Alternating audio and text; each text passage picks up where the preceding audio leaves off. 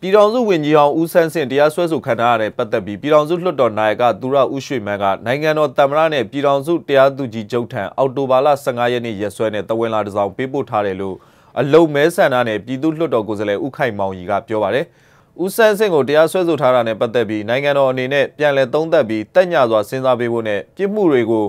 ရုပ်သိမ်းချမ်းသာခွင့်ပြုပေးနိုင်မှုဆရာတော်တန်ဃာတော်တွေပြည်တော်စုလွှတ်တော်ကိုယ်စားလှယ်52ဦးနဲ့ AR တိုင်းဒေသကြီးပြည်သူလူထု 1004ဦးတို့ကပြည်တော်စုလွှတ်တော်နာယကသူရဦးရွှေမန်းကို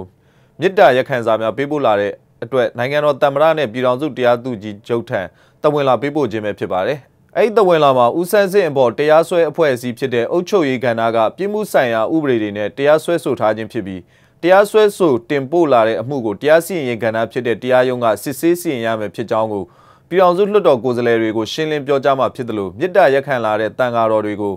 တင့်တော်တဲ့နီလန်းနဲ့ရှောက်ထားအသိပေးသွားမယ်လို့ပါရှိပါတယ်။သာသနာရေးဝန်ကြီးဌာနပြည်တော်စုဝန်ကြီးဟောင်းဦးဆန်းစင်ကိုပြည်သူပိုင်ပစ္စည်းအလွဲသုံးစားမှုပြည်မှုဆိုင်ရာဥပဒေပုံမှန်409နဲ့နိုင်ငံတော်အကြီးအကျယ်ပြအောင်လှုပ်ဆောင်မှုပြည်မှုဆိုင်ရာဥပဒေပုံမှန်124ကကြီးနဲ့တရားစွဲဆိုထားခြင်းပဲဖြစ်ပါတယ်ခင်ဗျာ။ကျွန်တော်တို့မြစ်တာရက်ခံသဘောဟောလုပ်ချင်တယ်။နောက်တရားစီရင်ကိုလည်း မြစ်တာရက်ခံခြင်းနဲ့ဒါပေမဲ့သူတို့ဆောင်ရွက်တဲ့အပိုင်းကသူတို့ဆောင်ရွက်တဲ့အပိုင်းဖြစ်တယ်။အဲကျွန်တော်တို့ကတော့ဟိုကျွန်တော်တို့အဝင်ဝိုင်းလွတ်တော်ကိုယ်စားလှယ်ကလွတ်တော်ကြီးကဲတွေကတဆင့်ဆောင်ရွက်ရတာဖြစ်တဲ့အတွက်လွတ်တော်ကြီးကဲတွေကိုပဲတင်ပြတာဖြစ်တယ်။လွတ်တော်ကြီးကဲကလည်းဆက်လက်ပြီးတော့မှအာအုပ်ချုပ်ရေးနဲ့တရားစီရင်ဌာနကိုသူတို့လိုအပ်တယ်လို့ဆောင်ရွက်သွားတာကိုကျွန်တော်တို့အနေနဲ့